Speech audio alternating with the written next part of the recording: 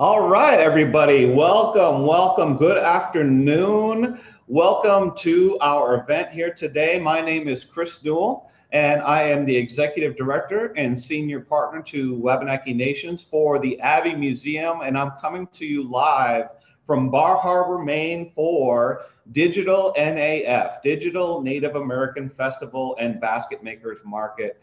And so, ladies and gentlemen, we have two hours of uh, getting together with some of the artists that uh, we would have had here. Um, unfortunately, due to the public health crisis, we have uh, the uh, here at the Abbe Museum, we have pioneered uh, bringing uh, these events to you in a virtual format here. So this is another iteration, much like Digital AMIM. Uh, Digital Native American Festival, though, more focuses on uh, local Native artists. You're going to see a lot of Wabanaki artists here today. Uh, and we're going to be having time to interview with them. They're going to present what they have for sale. And for those of you, uh, oftentimes, uh, well, I'll be repeating this throughout uh, the broadcast today. Those of you that would like to buy from the artist, we invite you to come to abbemuseum.org. If you look under the markets tag, you will see under that tag a link for artist profiles for digital AMIM as well as digital NAF. And you can find all of their information including uh, artist bios and uh, um, uh, artist statements, pictures of their artwork, and contact information for each of the artists. So for those of you watching today and you see a piece from one of the artists and you're really interested in finding out how to get a hold of that piece and buy it for yourself, just remember to go to the abbemuseum.org website page and look for the artist profile that you are seeking.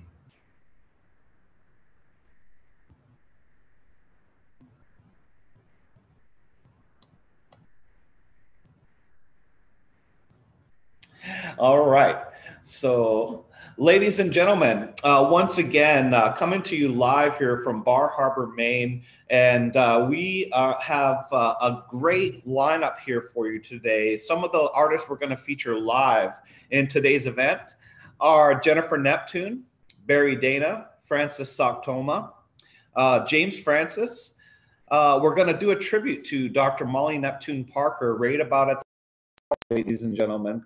So make sure that you are tuned in for that. We have a special tribute video lined up uh, with a message from uh, Elizabeth Neptune, Molly's daughter. Uh, Elizabeth James Perry will be joining us today, as well as Butch Phillips, Theresa Secord, and Gabriel Frey. So that's the lineup that we have of artists that will be joining us for Digital NAF today. But we also have profiles of many, many other artists uh, that you would normally see if you came to the live event. And we'll be mentioning those folks uh, as we go throughout the day. In hour one, it will be Jennifer Neptune will be up first, followed by Barry Dana and Francis Soctomah and James Francis. In hour two, uh, from three to four, we'll be featuring artists Elizabeth James Perry, Butch Phillips, Theresa Secord, and Gabriel Frey. I would encourage you, those uh, that are watching, that you can uh, interact. Uh, the artists will have uh, several minutes to make presentations about the art that they are uh, uh, that they have uh, for sale about themselves. But we are encouraging you to ask questions. If you have specific questions, if you want to see a specific piece of artwork once again. Um, please drop your questions into any of the comments, whether you're watching on Zoom, YouTube, or Facebook Live. Drop your questions into the comments, and those questions will be filtered to me, and I can ask them directly to the artist for you. So please take advantage of the interactivity. We welcome questions from you, the audience, uh, as we go throughout the day. So lots on our table for today. And pretty soon we're going to be starting with our first artist, which is going to be Jennifer Neptune. Um, so uh, once again, if uh, you're just joining us, uh, today is the digital NAF event. And if you are looking for ways to borrow from the artists themselves, uh, you will be going to the abbemuseum.org website, look under the tab of markets, and then look under that for the uh, digital AMIM and digital NAF artist profiles, which include pictures, artist bios, uh, as well as artist statements and contact information so that you can contact the artist themselves. The Abbe Museum has no, uh, uh, is not the middleman to any of the transactions with the artist. You can contact the artist directly themselves through their, uh, uh their uh, requested medium and uh, talk about what they have for sale or possibly commissions. So keep those things in mind. But also today is a great learning event uh, because a lot of these artists are Wabanaki artists. Many of them feature traditional Wabanaki arts, including basket making today. And we're really going to have a chance to dig down into some of the traditional Wabanaki arts. So for those of you uh, that want to have uh, some education, you know, this is a really great opportunity here uh, for some first person perspective from the artists themselves, you know, from uh, our Wabanaki nations and some of our neighboring nations uh, close by here today. So we really have a great sample of the NAF artists here that are available to join us today. Um, so yes, I, I, am so excited to be here. Um, this is our second online virtual market. And, uh, you know, this time around, we're only two hours today, uh, but we do have a, a, a robust set of uh, artists for you to, uh, to check out. Now, our first artist that we're going to be bringing up for you is Jennifer Neptune, and she'll be joining us here in just a minute. Uh, Jennifer Neptune uh, comes from the Penobscot Nation, um, mostly in basketry, ash basketry, especially with uh, the use of sweetgrass, and she also does beadwork. Um, and uh, she's from the Penobscot Nation, a writer, uh, herbalist, worked in the field of cultural preservation for over 25 years, and she's the current head of the Penobscot Nation Museum. And uh, she did join us for Digital AMIM. We're so happy to have her back here for Digital NAF. And it looks like she is all lined up. And it's nice to see you, Jennifer. Hi, how are you doing? Good. It's nice to see you too. Yes, as always. And I love the background there. That's Jennifer's shop, by the way. Uh, those uh, ribbons that you see back there, well earned. Uh, Jennifer, I'm going to turn it right over to you. And uh, once you're done, if we have any questions from the audience, if uh, we'll ask those. And if not, I have a few questions for you uh, and we'll talk a little bit more. But we want to let the world get to know you. So I'm just going to hand it over to you and we're going to spotlight Jennifer for the next few minutes. For now. Thank you, Chris. Excited to be here today. Um, I've been involved in the festival for the whole entire 27 years that we've held it. And I'm really excited that the Abbe found a way to make it work. We have never missed a year.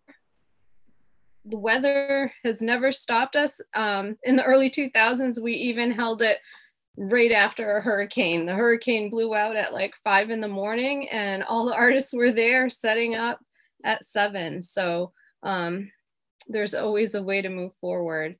Um, I'm Jennifer Neptune. I am a basket maker and a bead worker. I'm a member of the Penobscot Nation and I live on Indian Island, Maine. Um, my baskets are made out of ash and sweetgrass. And I use a lot of sweetgrass. This is a sweetgrass flat that I'm working on now. And they're called flats because they're kind of short and they're used for storage. These were used um, by women in the 1800s and on as sewing baskets, and they come in all different sizes. So I make them from teeny tiny miniatures right up to fairly large ones like that. Um, they use a lot of sweet grass, and this is the time of year when we're all out starting to pick grass, um, trying to get it nice and long. So I'll be doing that soon takes a lot of time um, to use sweetgrass in your baskets because you have the time of gathering and harvesting it, preparing it, braiding it. Um, it just takes a tremendous amount of time. So just to give you an appreciation of the sweetgrass. Um, another basket that I have available is a pineapple basket and I'll back it up for you. um, this is, it has a cover, the cover comes off. And this is all made with double split ash. It's really um, nice ash. I don't make these too often because it takes so much of the really good stuff to, to do these. So these are pretty rare. I do a lot of miniatures too. So um, here's the bottom of a little one that I'm working on today. And this is the block that it's going to be on. This is a really old block. So the tools that we use to weave with um, can be quite old. They get passed down through generations, and uh, this will fit on the block and um, become a basket eventually. Um, some of the other styles that I do are sea urchins, and this is the block that I would weave it on. And I do these in all different sizes too, right down to tiny. Um, let's see, beadwork. So I also do a lot of beadwork. Um, I do a lot of reproductions, like the Chiefs collars, uh, the um, peak caps, kind of clothing reproductions I do a lot of, and also like little beaded bags. Um, that's really time consuming and um, a lot of silk ribbon work, glass beads. Um, and here's another little one that I'm working on. And this will end up being either a little necklace or put onto a bag. also i wanted to point out too um, you know a lot of people are camping this summer to get out and just wanted to put a shout out about emerald ash borer and how important it is not to move firewood so if you're planning to visit maine or you know go camping get your wood when you get to your location um, moving firewood is the main way that the emerald ash borer is getting transported and moved to new locations and we have three um, infestations here in Maine now, and um, we don't want it moving any further. It um, kills all ash trees, and its favorite tree is um, our black ash, our brown ash trees that we make the baskets with. So it's a huge threat to this tradition. And so just want to put that out there. Please don't move firewood. Let's keep this tradition going for as long as possible. We've worked so hard um, together um, to ensure that this tradition survives and that we have younger basket makers. And um, it's just so ironic all the years of hard work that it's an invasive beetle that might stop it. So um, just want to put that out there. Happy to answer any questions that you have about uh, basket making, bead working, traditions, emerald ash borer.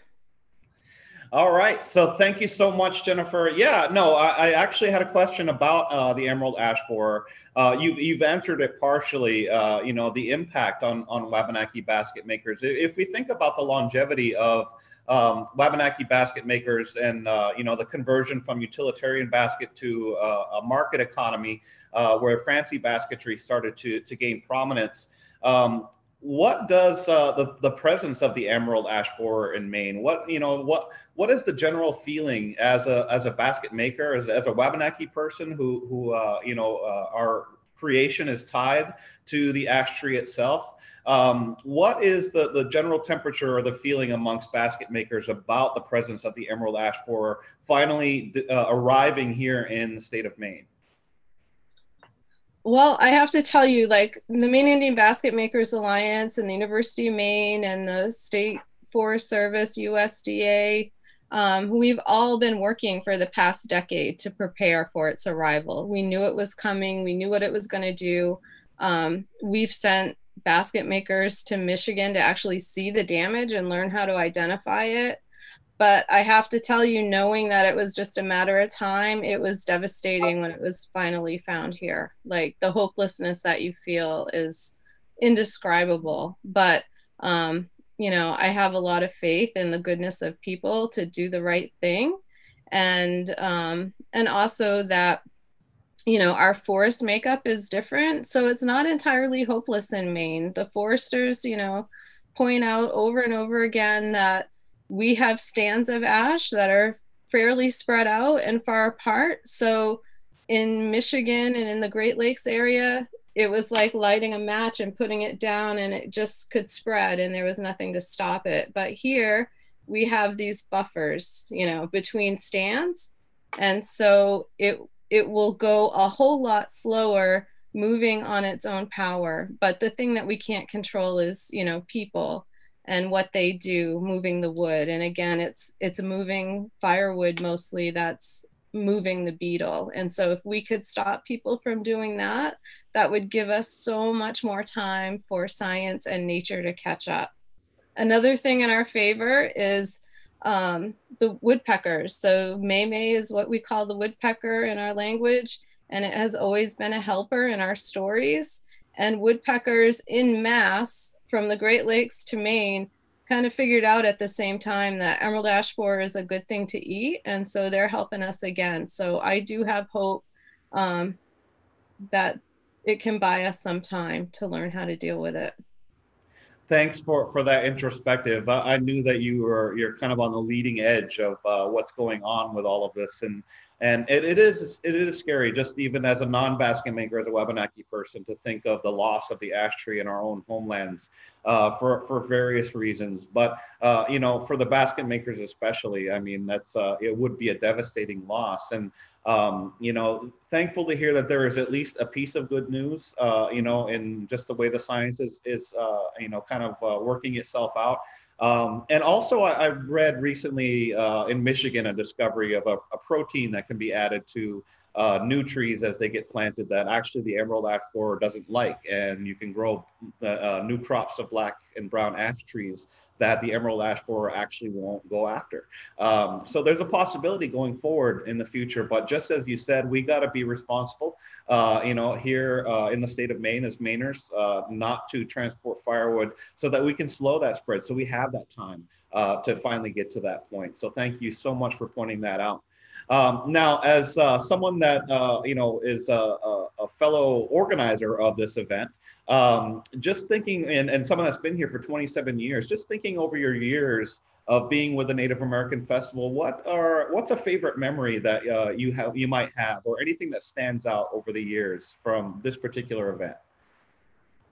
Oh, there's so many. I think uh, one of the things um, that stands out to me is just watching like children grow up and you know coming as babies sometimes or little tiny kids and they grew up and they became artists themselves and had their own table um, you know in the past few years. And that's pretty amazing to see that um, that change over time and to see like all our hard work like producing new artists and all that talent having a place to express itself and come out. And it just makes me really, really proud um, of the work that we've all done um, to ensure that, you know, we always have a place um, to show our work and um, sell to the public directly and, you know, just show how awesome the artists in our communities are. Yeah, absolutely. I mean, uh, you know, the uh, the fact that the uh, the Maine Indian Basket Makers, you know, collected together under the Maine Indian Basket Makers Alliance, and uh, things are done with a, with a team a- aspect, a community aspect. Um, and you think back to the first days of the Native American Festival, and it was a lot of really older artists back then. You know, the tradition, uh, you know, it went from a community tradition, and then uh, with the advent of uh, television and radios and things of that sort, there was a distraction maybe and it, it uh, kind of transferred to a family tradition. But uh, the old the, uh, back in the early days, the average age of the artist was you know tended to be on the older side, and uh, these days we are seeing so many young artists. And not only that, we're seeing the generation of those artists teaching children, uh, and the children are winning awards uh, in Santa Fe and places like that. So it's a beautiful thing to see, and uh, you can really come uh, to uh, Bar Harbor every year. Next year, come in July, and uh, you know, please come to the festival and see these young up and coming artists as well as those masters that show up every year. Mm-hmm. So I know you. the elders um, that aren't with us anymore. I'm sure they're smiling down and are so proud of all the younger ones that have come forward. Absolutely, and and and for your work as well. Thank you so much, Jennifer. So uh, we're gonna move on now, Jennifer. I'm gonna say a good give you a, a, second to say goodbye to everybody, and then we're gonna move on with our program here. We got our next artist lined up and ready to go. But thank you so much for being with us, uh, and go ahead and know, give your own salutation. All right, Willie One, thank you so much for being here today. All right. Thank you so much, Jennifer. So once again, such great artists that we have lined up for you here today. And the next artist that we have lined up for you, there's uh, you know so much that could be said about him. Uh, this is Barry Dana that we have lined up uh, next coming up in uh, our artist profiles here.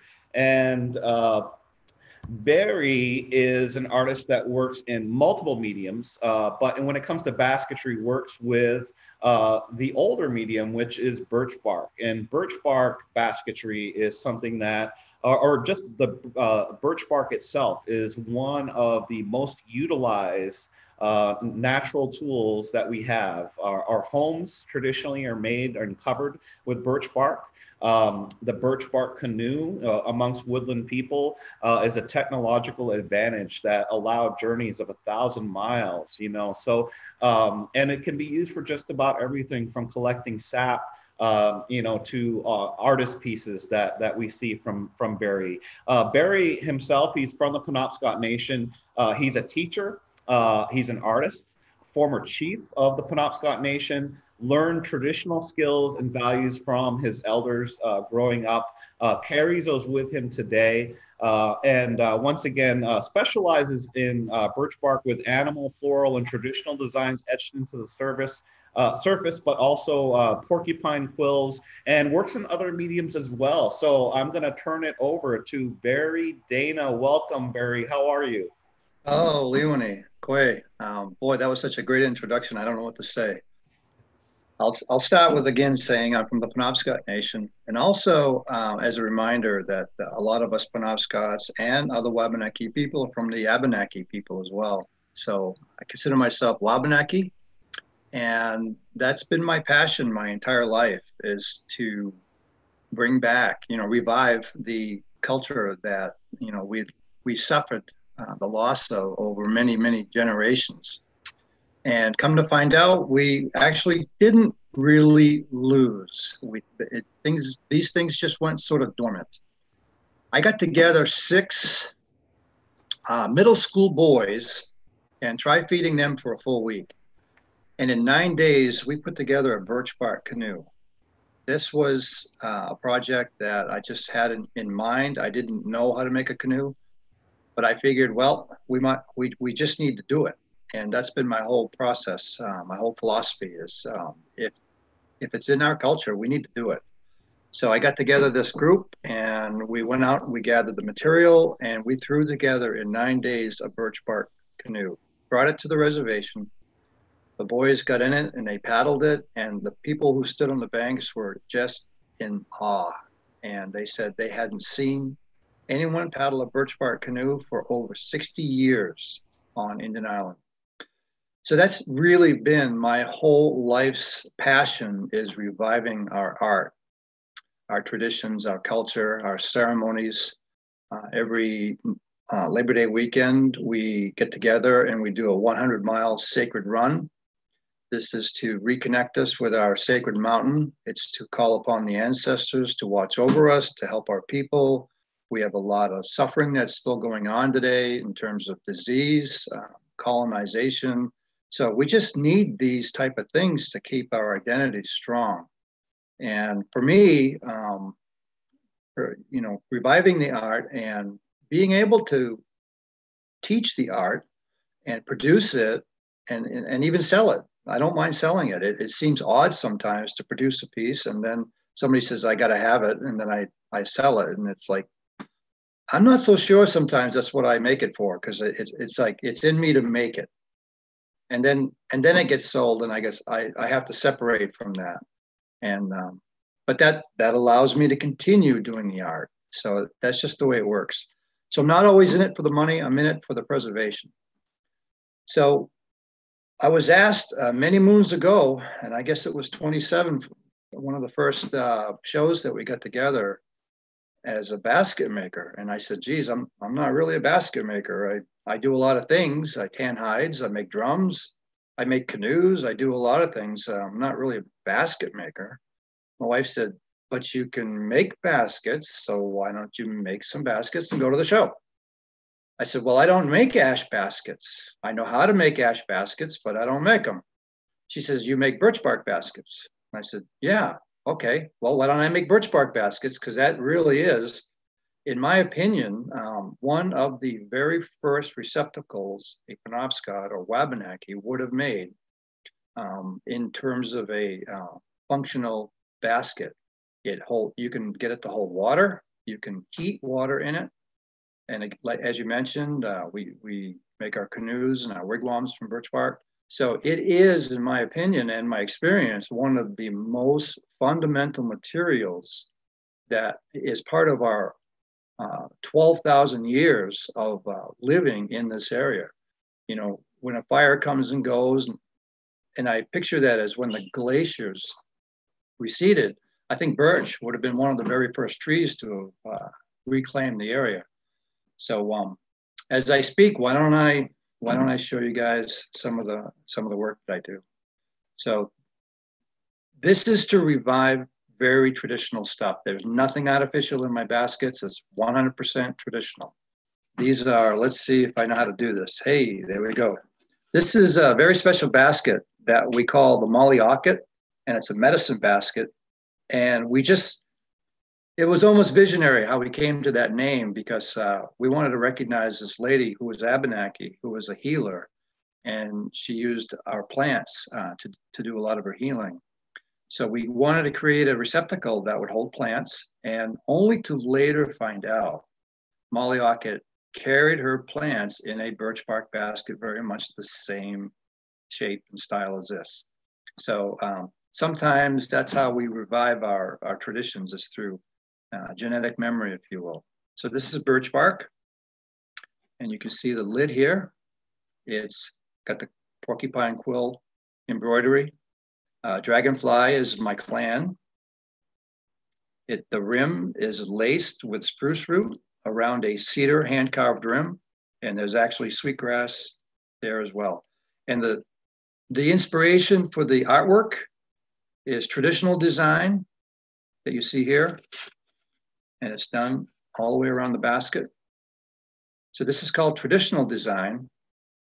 And then there's what's called contemporary, where you just sort of freelance and take it outside of the traditional realm, but bring in the traditions through contemporary style art. So this is called a bucket and it's etched on winter bark. Now, this is very, very difficult to gather. You cannot make a mistake taking the bark off the tree.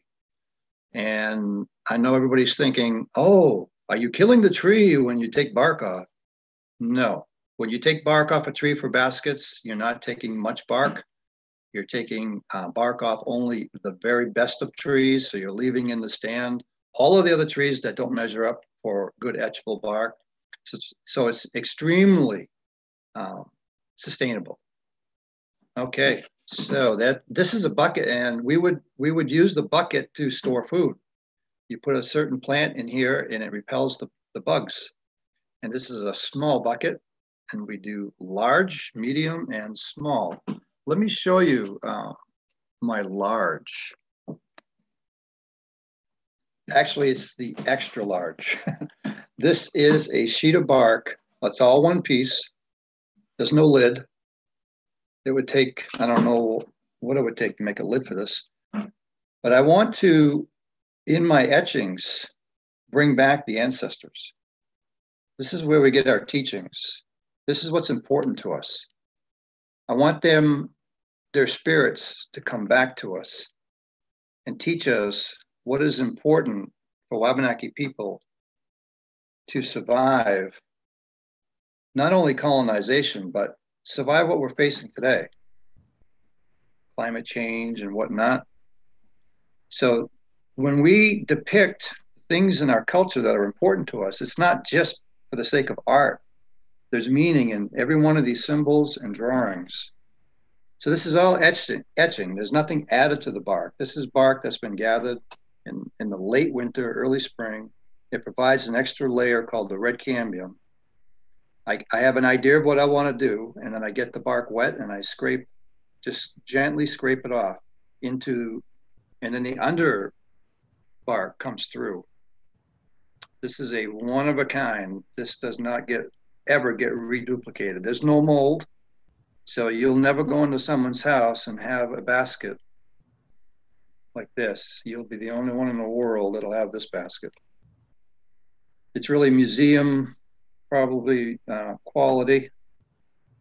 I haven't looked at this for a while, and I'm really amazed at how much stuff I got on here. So I'm having fun. Bear with me. But you can see the ancestors in this, and uh, it's really important to preserve the culture, not just you know create an economic uh, engine. So thank you so much for that, Barry. That Whoop, I'm having some feedback for some reason. There we go. I think we got it now. Uh, so thank you so much for that, Barry. Uh, and, and, and, it's true. You know, uh, uh, you know the the traditions of our people. So it's sometimes it's it's more than just about money, right? Um, it's really uh, how do we live sustainably within uh, the system that our ancestors did for over 12,000 years. You know, um, uh, sometimes pe- people talk about European colonization as civilization arriving here. Yet uh, we had, uh, you know, w- very little war, uh, and we were able to use uh, and survive quite healthily and heartily and happily without the use of money. Uh, or any of those things. And everything was provided by nature. And we had, uh, you know, with it's written into our languages that we see um, what we would call in English language nature as simply a system that we are part of, and that our job is to really help sustain that.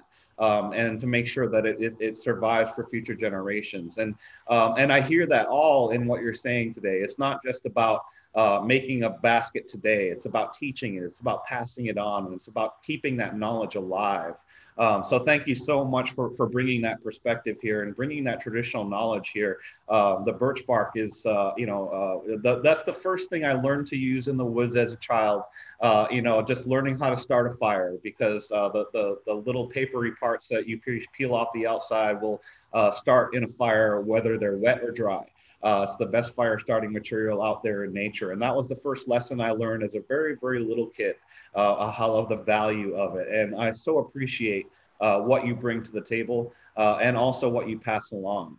Um, you know, so I mean, um, you know, the real question, you know, when it comes down to this, you've already answered some of our questions here that the, the harvesting does not uh, um, uh, harm the tree, uh, even for um, uh, for the uh, the canoes, the very large pieces that we take.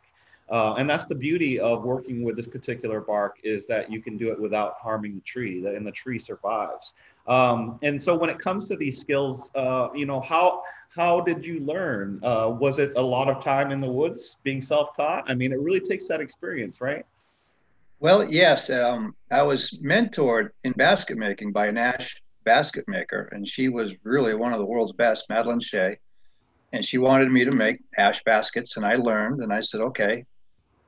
But I wasn't compelled to make them for some reason. I just sort of went off on my own and started studying birch bark, and I made a birch bark canoe. It, really, ever before I made a basket. Uh, that first canoe never saw the water, by the way. it, it, it, wouldn't have held up. Um, I ran into a friend who had made some birch bark baskets, and I just went nuts about it.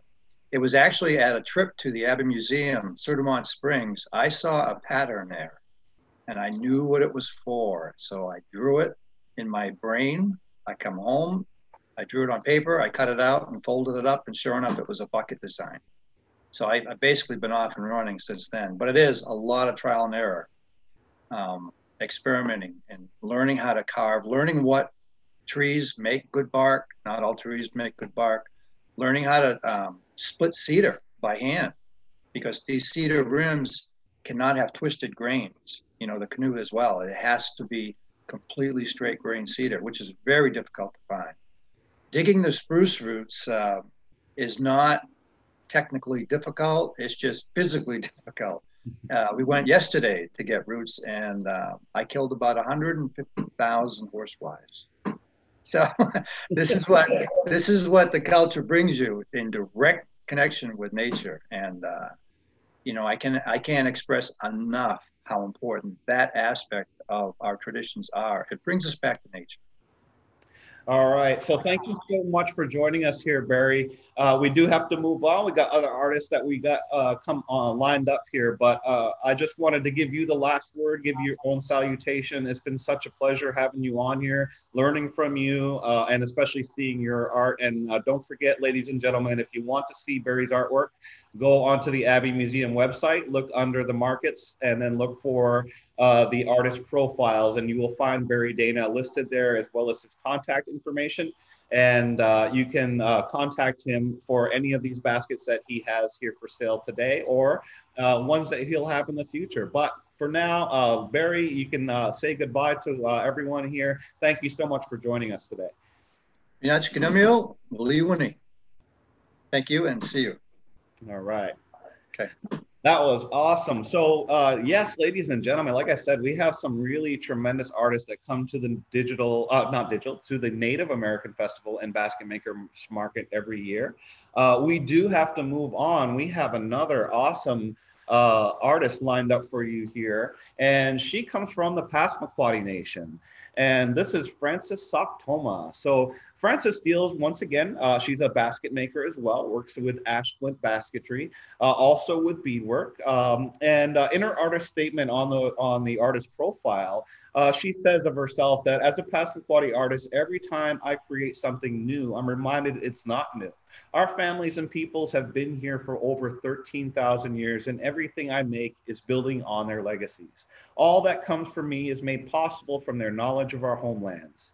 To do as my ancestors did is to know them. To see the art they created is to hear their whispers. My work continues to let their stories flow while reminding us of the hardships, strengths, and love that allowed us to be here today as Wabanaki people.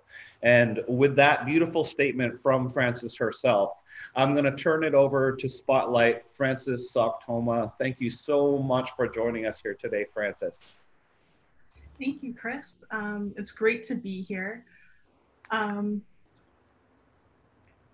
I, I, as, as, Chris said, I'm a Passamaquoddy artist um, from Indian Township from Motahkomikuk. I grew up um, around baskets just, you know, from the time that I was born. My grandmother is Molly Neptune Parker. Um, and she really instilled in us the value, the beauty, um, the cultural significance of basket making within my family. Um, Jennifer Neptune mentioned earlier that one of the really cool things that, or one of her um, best memories that she has of um, being around the Native American Festival was seeing some of the little ones grow up um, and start making baskets. And that made me smile because I'm one of those little ones. Um, I think the Native American Festival started, might have been a year and a half old. Um, and I think and I'll have to double check with my mother on this. I think I've been to all of them except one. I think there was one year that I had a conflict as a, a middle schooler or a high schooler, um, and I ended up not going. Um, so this is a tradition that we've we've looked forward to every year. Um, so it's a little weird not being in Bar Harbor around all the basket makers that I grew up around, um, around new basket makers who have kind of I've watched grow um, and inspired me to grow as well. Um, and very, very um, odd not being around my grandmother during this time, um, watching her sell baskets. Um, so I started learning from her when I was probably about maybe about six. There were a lot of workshops that she did in our communities, her along with other basket makers. Um, and there were these these like community workshops that the Maine Indian Basket Makers Alliance would hold. And my grandma was always one of those teachers. Her, Charlotte, um, Mary Gabriel, there were just so many who were around um, in teaching and taught me um, a lot of different skills that I still use in a lot of my baskets today. Um, and they taught me to make more, I guess I would say more traditional fancy baskets, um, like these one, like this one right here. Um, and I don't even think it was my gram. I don't remember which basket maker taught me how to do the little diamonds, um, but it was definitely an elder from our community who taught me how to do those. And so every time I think about when I make those, I think about that first basket I made where I did those diamonds, and we were in the cafeteria at my school, um, just learning from this elder whose job it was to teach you how to do some of the embellishments during those community workshops.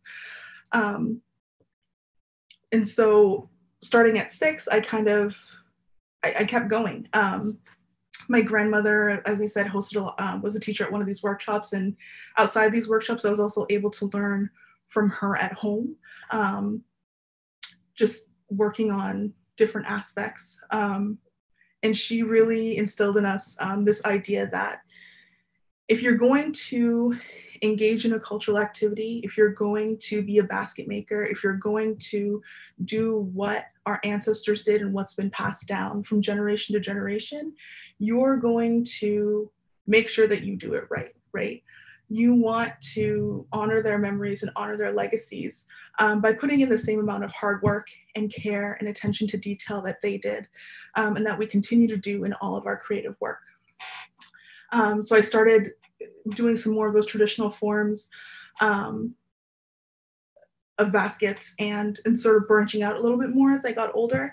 I probably didn't start selling um, separate from my gram until maybe 2016. I had always shared a table with her at these different events. And so throughout the year, we would make, um, you know, a handful of baskets, me and my cousins, and then they would always be on her table with her lined up along her work as we watched her um, sort of market us and tell her story and say, you know, oh yeah, this is my granddaughter Frances. Um, these are her baskets. You can see, you know, she's putting flowers on hers just like mine. Um, and so really learning kind of as we went um, how to interact with people and how to connect with people and really valuing that connection.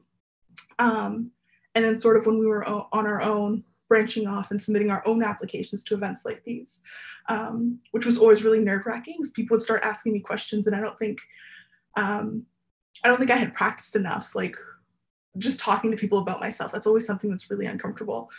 Um, so when you, you, you kind of go off on your own and you don't have your gram there, it was it was always kind of just like, oh no, um, I have to remember all these things that she said. Um, and really start start using your own voice. Um, so it's kind of a unique experience has been a unique experience starting as a little one um, and then coming up and being here on my own.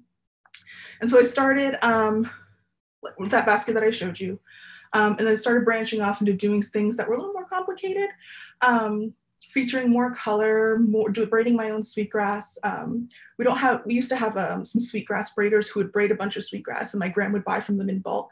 and we would integrate their braids into our baskets. And we don't really have a lot of sweetgrass braiders anymore. Um, so it's kind of fallen on the artists themselves to, to braid some of their own. So there are some like these um, where I'll braid some of my own sweetgrass. And you can see more, um, another example where I did one for a little flat that I made that's on my website linked to my NAF portal or my NAF profile. Um, so a lot more, as I started getting older, doing a lot more um, sweetgrass, more intricate weaves, more intricate diving patterns, um, and really starting to vary in size doing um, doing some some larger baskets, but also really focusing on doing some smaller baskets as I've gotten older. Um, one of the really amazing things about going to these markets and being around people not just from your own community but other communities um, is you get to see the kinds of things that they're working on and it's really inspirational. And so jennifer neptune um, is one of the other basket makers who has inspired me to do smaller baskets, um, more on the miniature side. I've made a few, including a, a miniature uh, flower basket that looks very similar to a large one that my gram did, and my grams would be probably about this large um, in comparison to something that's this small. Um, and then as I've gotten older and kind of mastered some of these different techniques that I remember from when I was little, or that my gram would talk me through, or that Jennifer would talk me through. Um, I've sort of started thinking a little bit more about how our art forms can spark discussion on on our culture, on our communities, but also on like community events and our connection to other things. So there is a um, a basket that I want to show you that I made that's currently on display at the Abbe um, real quick. It's part of the um, the Wollunqui Ittamin exhibit, the Take Care of Everything exhibit that's going on um, right now. And it's there, I believe, through the end of the year. Uh, hopefully I can do it under full screen. Um, and so this is part of a piece that I created for that. Um, he was really very challenging, um, but he's more the center of that exhibit um, or that um, artwork that I made alongside a bunch of other artists.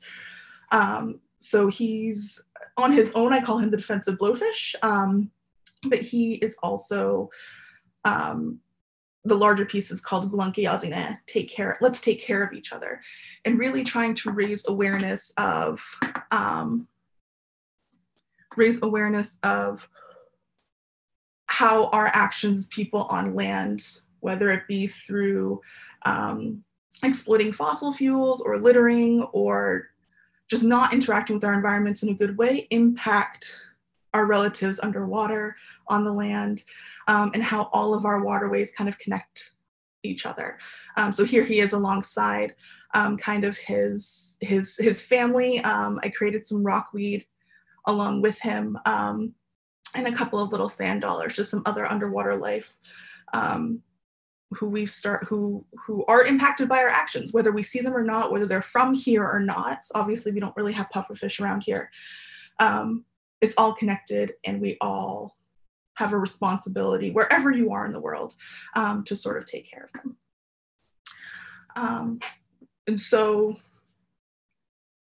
I, I'm kind of continuing to think about how our different traditional art forms can sort of impact those those conversations, um, but then also expanding out into other um, art forms that can really sort of serve as that kindling for these really important conversations that are, can also be really difficult conversations that we should be having um, out of respect for ourselves, our relatives, and and all of creation.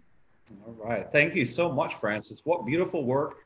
Uh, you know, you really are taking, uh, you know, the basket making tradition and, and what we're seeing from the artists is that each and every one of our artists take it and make it some way their own. Uh, you know, it's always based in culture, you know, but, uh, and for you, you know, uh, you know, you're a younger uh, basket maker yet, uh, you know, does not matter what age you are, you know, when it comes to the passion uh, and the, the skill, um, museum quality pieces are being made by people of your generation. And when I was growing up, that was a very, very extremely rare thing. So, as somebody that's a little bit from the older generation, I want to say thank you for your work. It's really beautiful. Um, and, you know, uh, you know, uh, it seems as though a lot of your inspiration comes from not just the traditions of our people, but on on the way you're reacting to the world of today. So, are there other examples of, of pieces that you have that are like that, that, that kind of react to the world of today? Yeah. So, um, I'm also in graduate school um, and I've done a few art classes sort of when I was an undergrad, um, and also now I'm pursuing an, an, art degree at the University of Maine, an intermediate art degree. Um, and when I've been done some more of those like academic settings, um, I've been connecting more to um, sort of our changing food systems and the way that environment, the environment has impacted what we can and cannot eat, um, or what relatives we end up seeing, we have seen in our waters before, but maybe we're not seeing now because they have restricted movement. Um, and actually, there's a series that I'm working on that I'm hoping to release by the end of this summer. Um, three pieces within that series, and I think it'll be an ongoing series the more that I create. Um, that's just called Calling Our Relatives Home, um, raising more awareness and I guess offering prayers to see more of our underwater relatives, but even just other relatives who maybe you don't really see as here anymore because the environment has changed so much. Um, and so this is one of the prints that I created um, featuring a sturgeon, um, really trying to emphasize him being here in our, our homelands and being um, one of the our family members that I, I want to see. I've never seen a sturgeon, um, but they can't they're huge, um, like larger than people huge. Um, and so it's it's kind of yeah, just just calling attention to that and just thinking about some of the stories that I've heard our elders tell that are are me, important to me, and sort of um, I'm just sort of reacting to them and just thinking about some of the things that maybe maybe I'm kind of missing out on, but we might see might see them back again. All right. So I want to say thank you so much for joining us here today, Frances. Uh, you know, it's too bad we can't see you in person. Uh, would love so much, you know, to have you back next year, of course. Um, you know, and we, we, very much look forward to that. Uh, we do have other artists that we got lined up, so I'm going to move on with the program here. But I wanted to give you the last word before we sign off. Uh, and just uh, once again, thank you for joining us. Thank you for telling your story and showing your beautiful art. And for those that are interested, once again, go to the abbemuseum.org website, look under markets, look under artist profiles, or just rate in the comments. We have a direct link to Frances's uh, artist profile, and you can find out how to contact her there. But for now, uh, go ahead and say your goodbye, Frances. Thank you so much for joining us. One's uh, Sita Wen, thank you everybody um, for joining me here today, and I look forward to seeing you next year. Um, definitely check out that profile because you. Um, I'm starting to post more, post more things on Facebook, Instagram. Um, so if you want to keep in touch, please do. Okay. Uh, so, yeah, ladies and gentlemen, uh, we have another artist lined up. But before we moved on to him, I just wanted to make mention we do have uh, not all of the artists from NAF, of course, are being featured today. Uh, one of the artists that we uh, were hoping to feature, he's actually a board member of the Abbe Museum, is Richard Silliboy. And I just wanted to make a quick mention that we have his profile up on uh, our artist profiles as well. Richard is from the Aroostook Band of Micmacs uh, uh, just a delightful person and uh, specializes in utility baskets, specifically the potato basket. Uh, and for those that don't know, if anybody's ever grown up uh, doing hand picking of potatoes, uh, the process involves, you know, the harvester going by and bringing the potatoes up out of the ground, and then the the hand harvesters going and uh, you can see the pictures of the potato baskets there. Uh, the hand harvesters going and throwing the potatoes between their legs into those baskets. And then the baskets, of course, you know, emptied into larger barrels that would be picked up by the truck. So it's very much a part of the harvesting process. And in the state of Maine, uh, you know, uh, Micmac as well as other Wabanaki potato basket makers help to really uh, give the tools for uh, the potato harvest every year. Uh, in fact, they were so good at making these particular baskets that a lot of the potato basket makers could make them without using a form. Uh, and I've seen videos of uh, talented ma- basket makers that could, uh, once the raw materials were processed, could make a basket in less than two minutes time, uh, just you know off of eyeballing it. It would be perfectly round. Uh, these baskets are super strong. They're durable. They can hold 50 pounds of weight, no problem. They last for years. Uh, and they, uh, uh, the tribes have been so good at making them that when Richard uh, and his family, uh, you know, uh, in their history, when they were selling them, they sold them for 50 cents a piece. these tremendously strong pieces of work that, you know, sustained an industry, the potato industry in northern Maine, in a way, you know, as part of the process of, of harvesting them. Uh, you know, and it's been a tradition uh, of many basket makers over the years of making utility baskets and keeping that art alive as well. So we just wanted to make a quick mention of Richard uh, as we move forward. But now we're going to be moving to our next artist, and that is Mr. James Francis. Uh, James Francis once all, once again comes from the Penobscot Nation, and uh, he is the husband of Jennifer Neptune and uh, works in multiple mediums, uh, not just in art, but in history as well. Uh, you know, and uh, so there's a lot to be learned from James. Uh, and I'm just waiting to see if he's going to pop up on here, see if we have him or not. Let me check my messages from the Abbe team. Uh, so yeah, there he is. He's coming up. Oh, excellent. And he's got a piece of his artwork in his background there. So without further ado, uh, I don't want to hold it off. I'm going to let James just kind of announce himself here, talk about all of the multiple mediums of art he works in. As I said, not just uh, visual arts, but also in art histories as well, uh, just about anything, and, and visual um, film as well, if I recall. So, James, uh, I'm going to turn it right over to you for your spotlight. Thank you, Chris. Um, hope everybody can hear me. Um, so I'm going to share my screen as I go through the the many um, different mediums that I that I work with. Um, let's go here.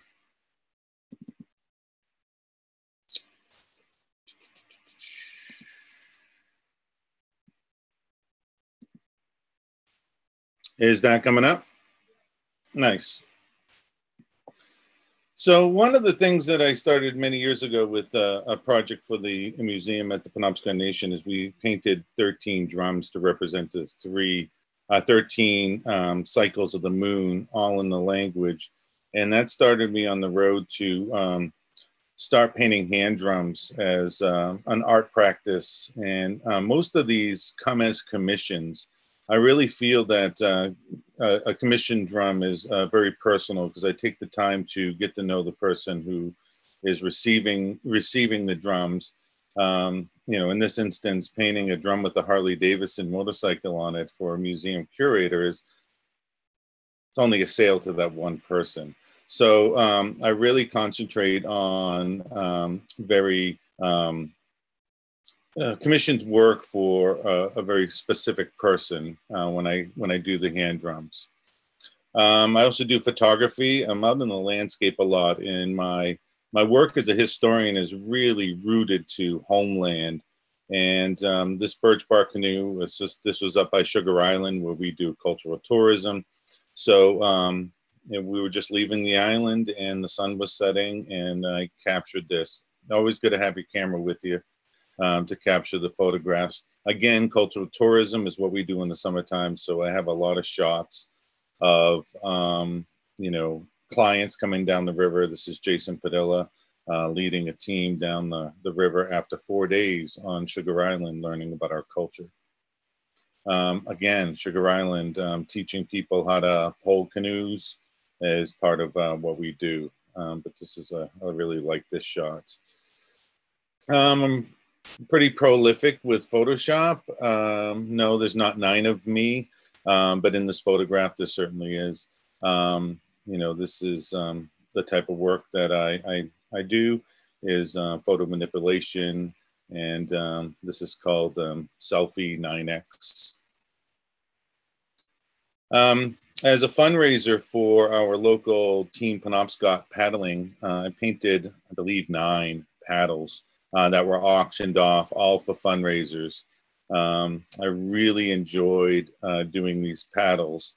Um, they were fun, um, and they really um, inspired me to uh, continue this this type of work, um, painting on paddles for people to use or not to use. I don't. Once it leaves me, I I don't care. Um, I often paint scenes from this is an old postcard scene from Indian Island um, with the tribal flag flying, which is a little out of time. Um, this picture is uh, roughly between 1930 and 1947. Oftentimes we can't uh, date these pictures, um, but we know when certain structures came and when certain structures left. So this is done in acrylics. Um, another acrylic painting uh, the tree to the right in this painting is actually in the shape of the Penobscot River.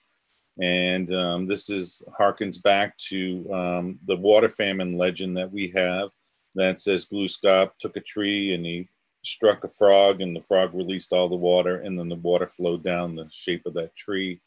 Um, and so I wanted to honor that story and other stories that involve moose um, by incorporating that into my painting. In fact, I think this painting is part of the Abbe collection. Um, for the bicentennial, I was asked to do a centerpiece for the Maine Historical Society's um, bicentennial exhibits, um, which um, is now on exhibit today. And this is the the called the Phips Proclamation, but it's also called the Scalps Proclamation. This puts a price on Penobscot's heads as this document. Um, quite a large document. Um, I think it's five feet by three feet. It's very big.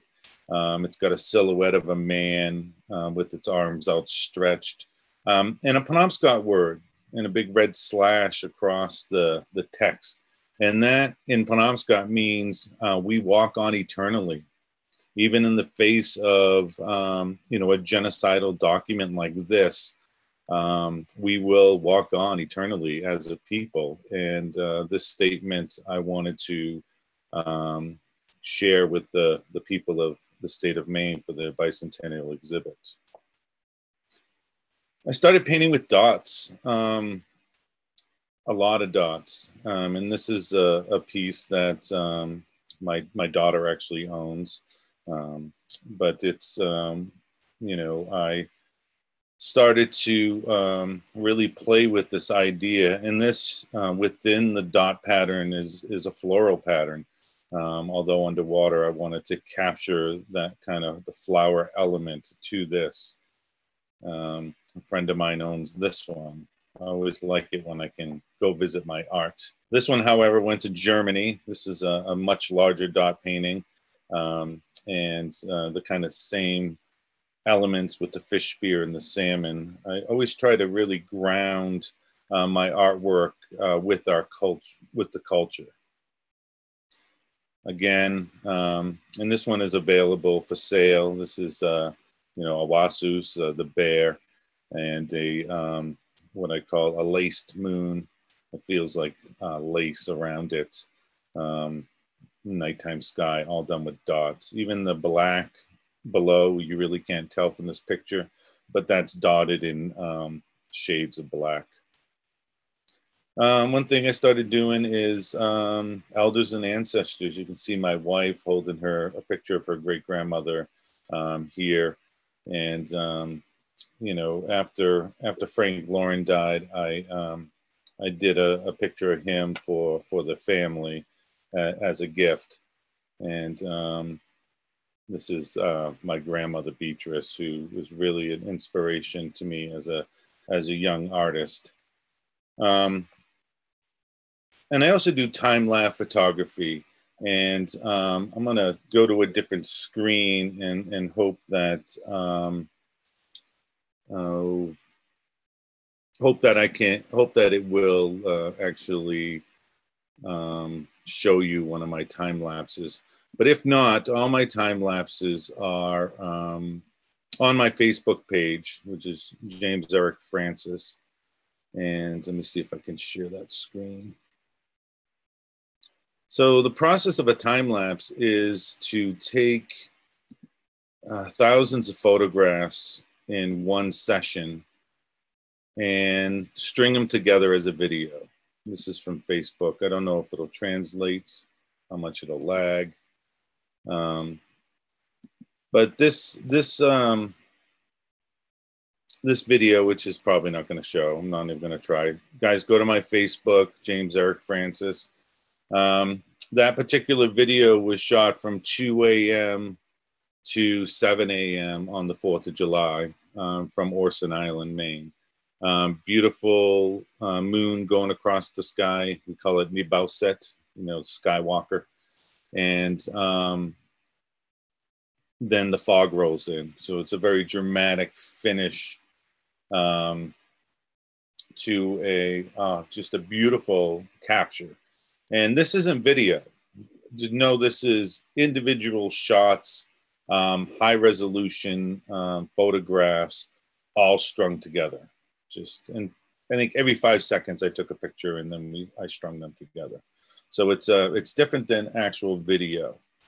Um, but that's that's my uh, share there. So I'm going to stop sharing. And I just wanted to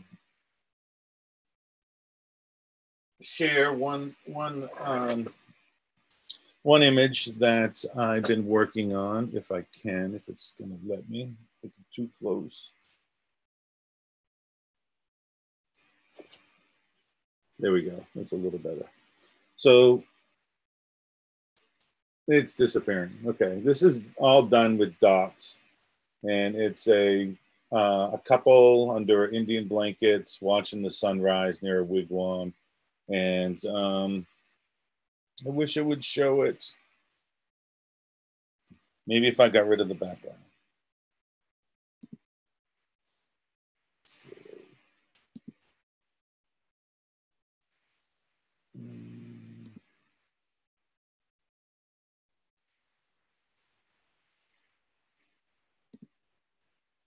Uh huh. So as I was saying, this is it's I call it directly at dawn uh, because it's pushing out the nighttime sky at the top, and where you see the trees come together is a image of a turtle, kind of in the negative space. But it's a couple under a turtle blanket watching the sunrise across the water uh, next to their wigwam. Uh, but as I said, this is completely done with dots. Um, I don't know, insanity on, on my part. Um, but that's um, all I got to show you today. Uh, Chris, you had some questions? Yeah, no, we, we had a question come in from uh, one of our viewers, and uh, they wanted to ask with commissioned work, uh, how do you go about learning about the person you're creating for? Do you interview them? Are they members of the community? Um, yeah, I interviewed them and we talk about what's important to them. If they are uh, indigenous native people, um, I talk, to, I want to know about their family, um, maybe their clan, uh, what's important to them, what they identify with. Um, you know, like the motorcycle thing. Um, this museum curator person uh, is into Harleys. She's got a few of them and I incorporated on the saddlebags of that Harley um, designs from one of the Penobscot items that are in her collection. And so um, incorporating that all into that very personal piece is, is really important. But yes, I, I really like to get to know um, people. And also I've even gone as so far as I listen to audiobooks when I paint and I asked them uh, to share a book that was important to them, and I will listen to that while I paint.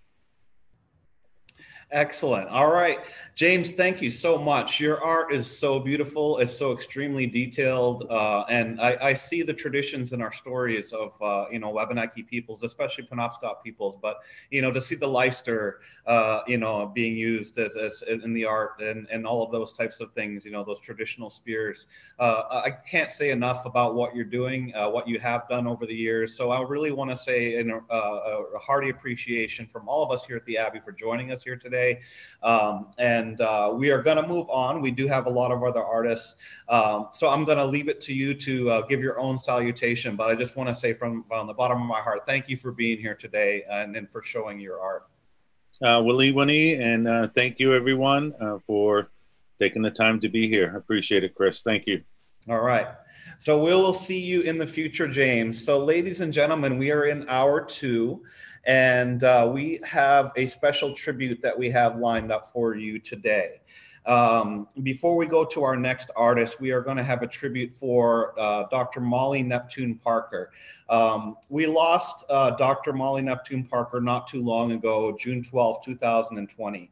Um, and uh, at 81 years old, uh, passed away surrounded by her family uh, after a brief stay at Calais Regional Hospital. She was born in Motahkomikuk, so uh, she comes from my home community. It's somebody I grew up around, uh, not just her, but her entire family. And as I always mention to others, uh, that when it comes to my memories of Molly, not only did she inspire greatness in herself, uh, and uh, within her own family, uh, many of which are notable uh, people in the community, uh, but also in everybody around her in the community. And uh, as Theresa Secord said in a recent article, she was, you know, she's one of the last of a generation that were selfless teachers.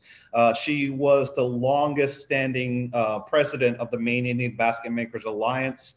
Uh, she has won multiple awards. Uh, there just can't be enough. Uh, I encourage you to look up uh, her obituary uh, and and to see the uh, the immense amount of impact that she has had on this world. And um, she also ran the Native American Festival and put this event on uh, during her time as a head of the Maine Indian Basket Makers Alliance. And we here at the Abbe did not feel uh, that this year would be appropriate to go by without a tribute to Dr. Molly Neptune Parker. So uh, with that, we have a tribute video featuring uh, her one of her daughters, uh, Elizabeth Neptune, and uh, also some photos and a song by, uh, we were given permission by Lauren Stevens, Passamaquoddy tribe, uh, singing the Passamaquoddy humbling song. Um, so with that, ladies and gentlemen, this is our tribute to Dr. Molly Neptune Parker. Thank you for joining the very first digital Native American Festival and Basket Makers Market. My name is Elizabeth Neptune. I'm one of the many children of Jeanette Parker, who many of you know as Molly Neptune Parker. Unfortunately, my mother can't join us today. She passed away after a brief battle with cancer four weeks ago. Although our hearts are still heavy, and will be for a very long time, I felt it was important to share with you some of her thoughts on uh, the importance of the festival itself. The festival became a tradition, not just for her, but for her children and many of her grandchildren. It is something that she felt that was important to do. Not just to be able to come together to sell her baskets, but also to be able to see the incredible talent of many of the Native American artists uh, that feature their work and are, that are featuring their work as part of today's event. To her, it was not just about, um, again, not just about those sales, but it was about bringing people together. Both the Wabanaki communities, it was one of the few times during the year that we all got together, and then also to be able to share some of the incredible talent and some of our culture with the public at large. So thank you again for joining here today. I hope that all of the the artisans that are that are sharing their work today have an incredible and successful uh, event. And I want to thank you, all of the audience members, for uh, joining from wherever they may be during this trying pandemic time. As, uh, to honor my mother's legacy, we've also established uh, a Molly Neptune Parker Mentor Fund that will be distributed as a scholarship of, of, of sorts to Wabanaki people. And thank you for those in advance that have contributed, that will contribute, and those that have contributed already to that fund. We anticipate that the fund will be ready to distribute in early 2021. Thank you again. And thank you for coming together. And thank you for honoring um, my mom.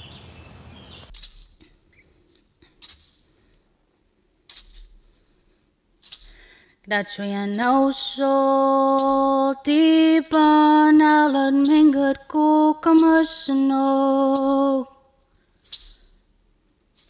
Dachuyan so tipa nalan minggat ku kamasno Jalawam kwe wewotine Mawam kabazotine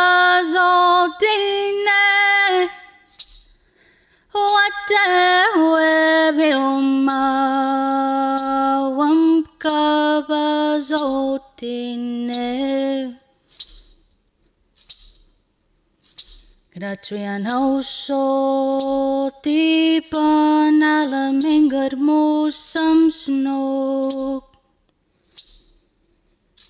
Gratuyan so tipa nalamingad mo samsnog Jeroam kwe wewotine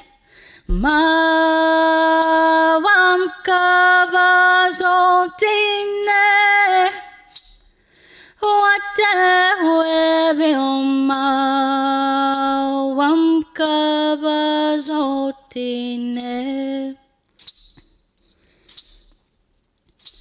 Ratrian so tipa nalamingad ki koasnog Ratrian so tipa nalamingad ki koasnog Jeroam kwe wewotine Mawam kabazotine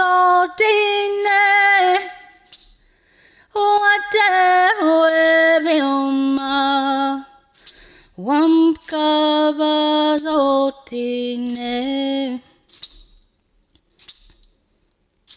Gracian so tipa nalamingad mi tauksnog Gracian so tipa nalamingad mi tauksnog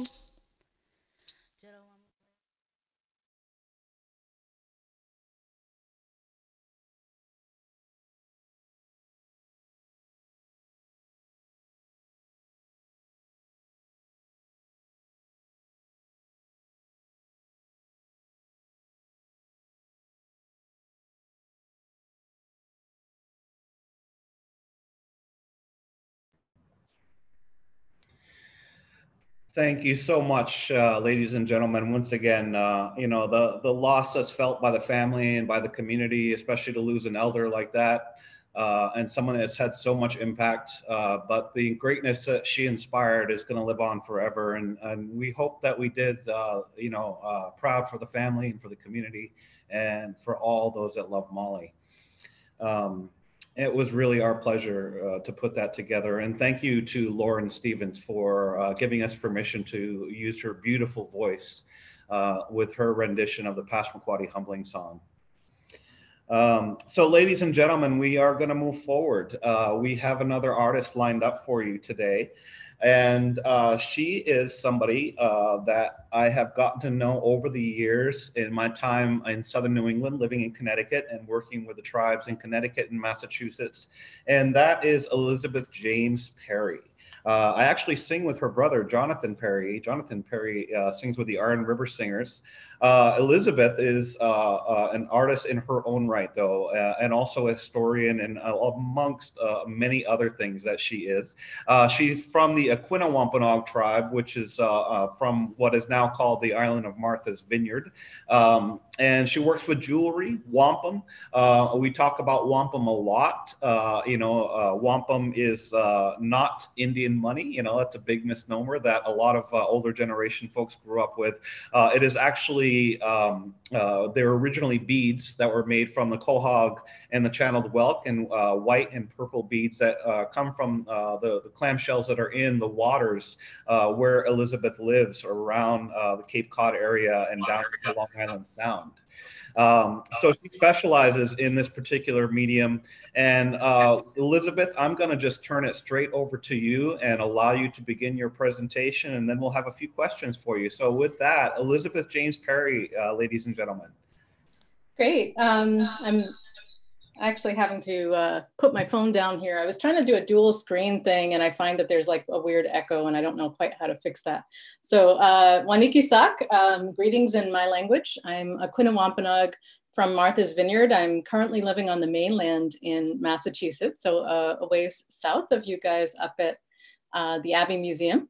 Um, thank you for having me uh, be part of this uh, interesting virtual version of the show. I've been going for more than 10 years and I miss going up to Maine. It's, it's very nice.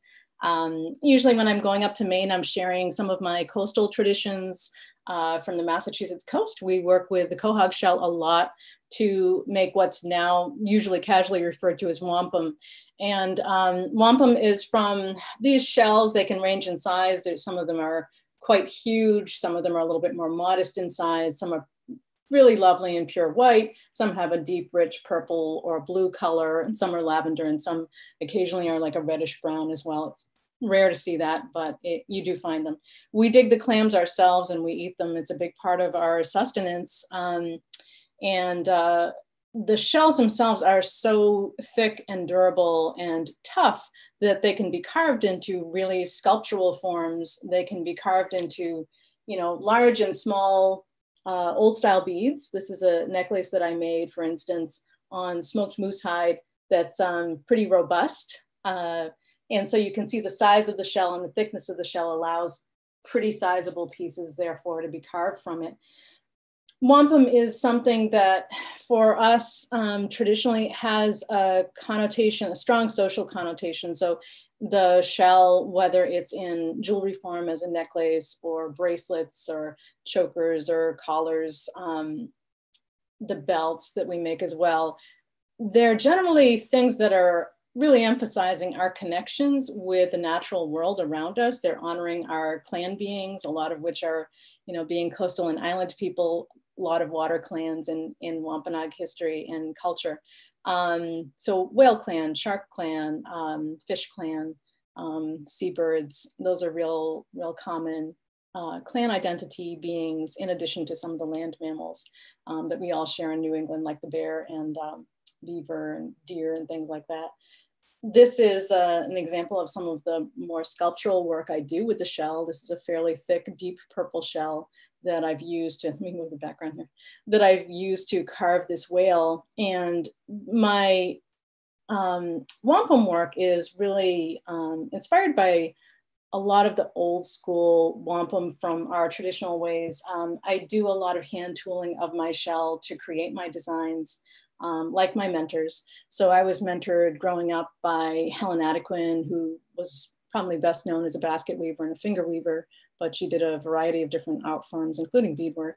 Um, and my other cousin, Nana Pashamit, Tony Pollard, um, also very strongly influenced by my mother growing up watching her do scrimshaw because we're um, a lot of Wampanoag folks are descendants of whalers. Um, and so the use of the whale teeth, use of baleen, uh, along with some of the other materials we have in New England was a really common tradition um, up until fairly recently. It was really the changes in the marine mammal, um, the changes wrought by the Marine Mammal Act that uh, limited access to some of those things.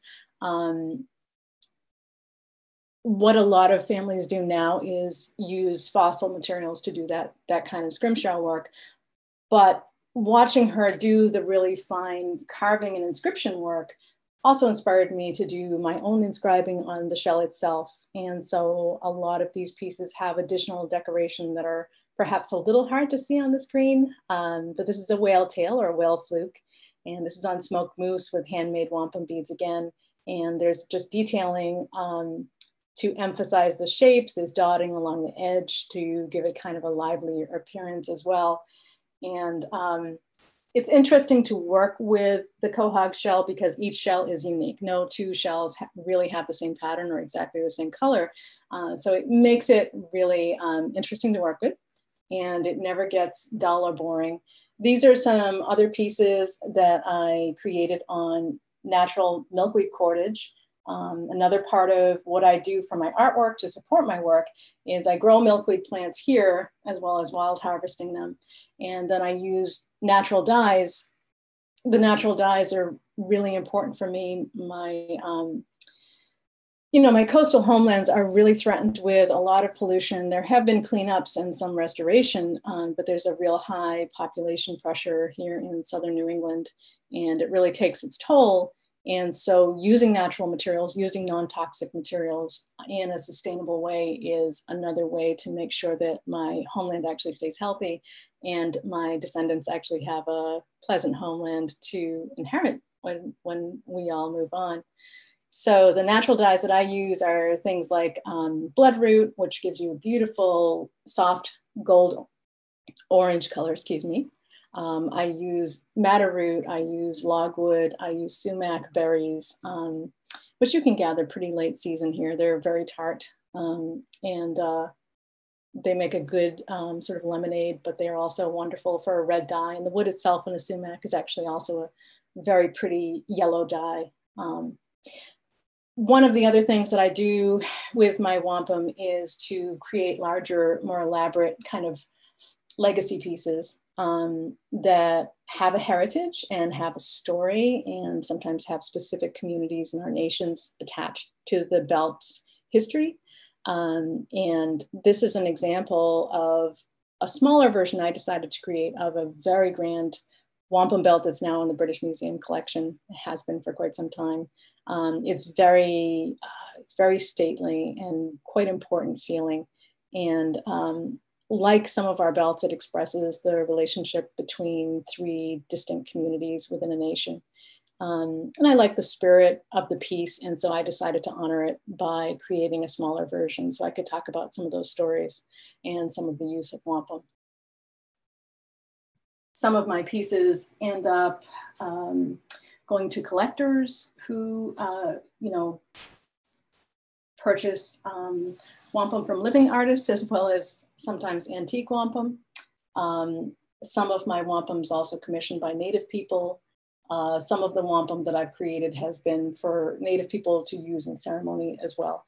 And it's really an honor, I think, when my nation and other nations trust an artist to ask them to contribute to something like that. Um, it's a very special feeling and I'm very pleased to be able to participate. This is a wampum bias collar or alliance collar or friendship collar as it is also called. And um, it's a little hard maybe to show via Zoom, um, easier maybe to model. Uh, so it goes around the base of the neck and they're, they're very um, handsome pieces, but like the belts, they also have a strong diplomatic connotation, um, whether it's strands of wampum or the woven collars or the belts. Uh, the emphasis overall is bringing people together um, in a good way, uh, getting people to cooperate and think about the future and think about commonly held resources and how to best use them and respectfully use them. So wampum is an excellent cultural reminder and communicator, I think, as well. Thank you so much, Elizabeth. And uh, you know, it, you really kind of showcase, uh, you know, something that, uh, and you said something as well in your presentation uh, that I think is is very important. Um, you know, for museum collections, especially you know the larger museums in the Northeast, a lot of them are kind of oftentimes reflections of the American conservation movement. You know, back in the 19th century, with collections that would feature Plains art and Southwestern pottery largely, and uh, yet no wampum art, right? Um, so let's let's talk about that for for just a second. Why is it important for museums to buy from living artists, uh, and especially in the Northeast, to feature the living arts that exist here? It's um, I think first and foremost, I'm going to center our commonly held Native traditions, right? Um, where we we're here here and now to support each other and not to forget each other and nobody gets left behind in community, whether it's immediate community or broader community. Um, and so one of the ways that you support each other is by investing in each other's passions and, and beautiful arts and foods and um, ventures and canoe trips and you know you invest in the things that you value and believe in and you want people to feel good and you want people to do well and i think more broadly i would share the value of investing in living arts and living artists and living culture because I think that that's something that the larger society in North America and beyond could could learn from.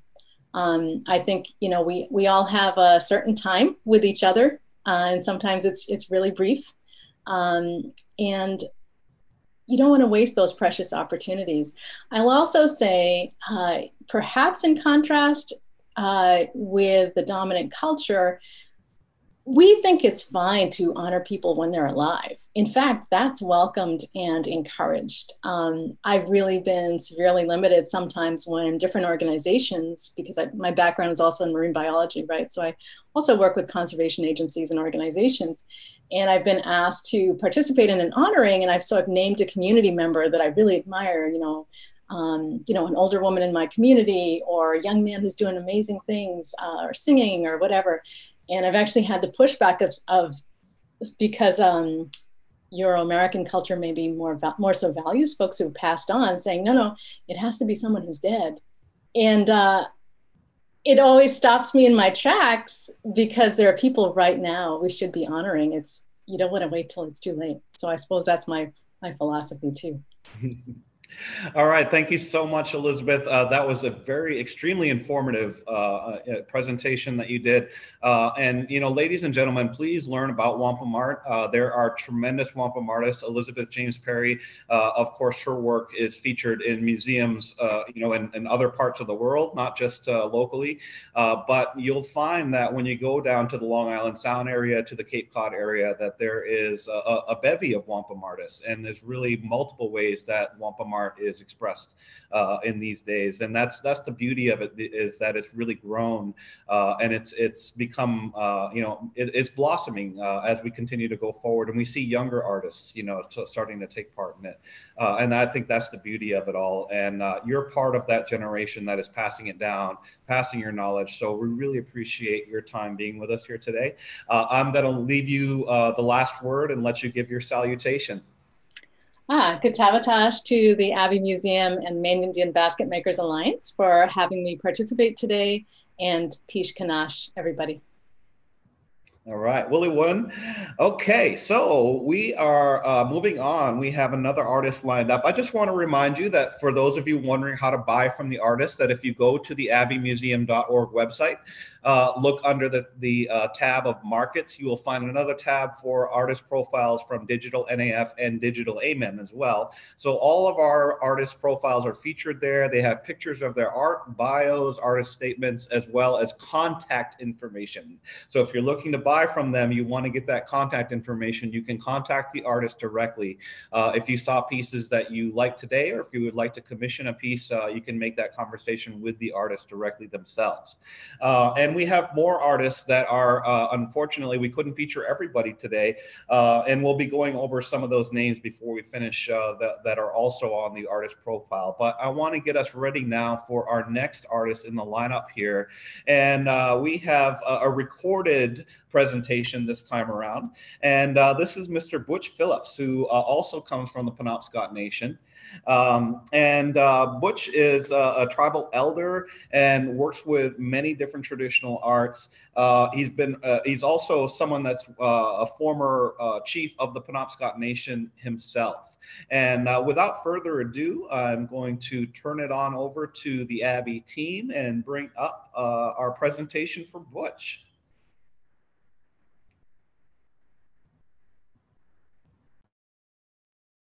Hi, I'm Butch Phillips. I'm Penobscot, and I live in Milford, Maine. I'd first like to take a moment to convey condolences from my family to the family of Molly Neptune Parker, who passed away recently. She was an outstanding and award-winning basket maker and a highly respected Passamaquoddy elder she certainly will be missed throughout Wabanaki country. The medium that I work in is birch bark.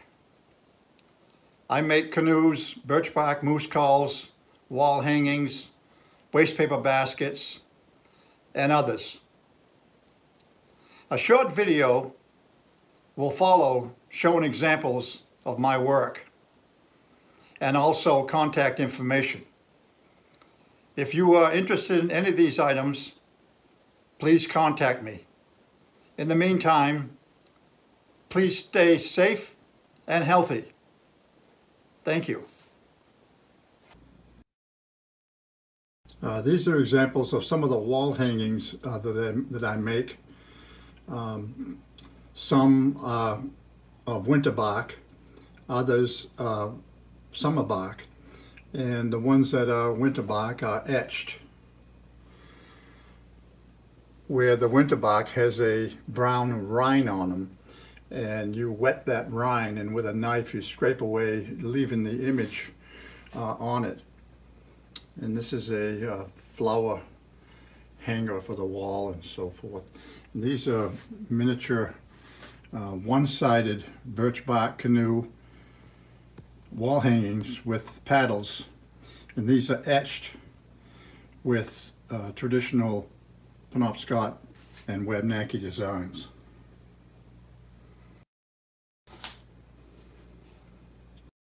And that has um, the waterproofing on it, on the ends and the gores are actually pine pitch like I use on, on the big canoes and these are 18 inches long. Another item I make is a magazine rack carrier for kindling wood or small firewood. And these are made out of birch bark uh, with uh, cedar saplings. And they're etched with uh, Wabanaki designs and they're approximately 20 inches long by 18 inches high. And they're supported and laced with uh, uh, spruce root.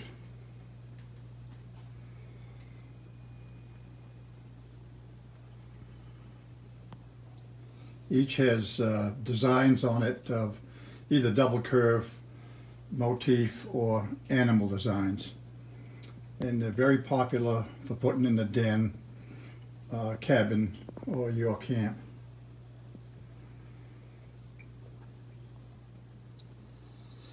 I also make uh, miniature birch bark canoes.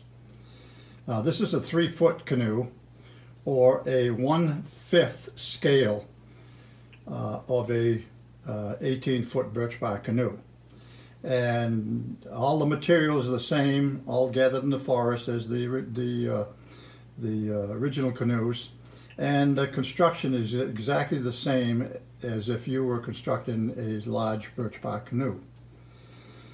Uh, all the materials, birch bark, white uh, cedar, and the pine pitch, uh, all gathered uh, in the forest as you would build a big canoe. This one is of summer bark uh, with the ends, um, the decking uh, with the traditional double curved designs on it. And the planking and the ribs are inserted in the traditional way um, as you would build a large canoe.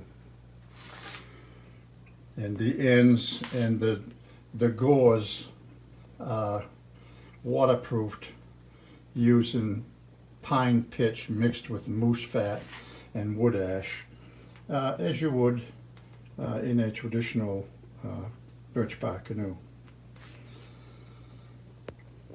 and this one is one-fifth scale.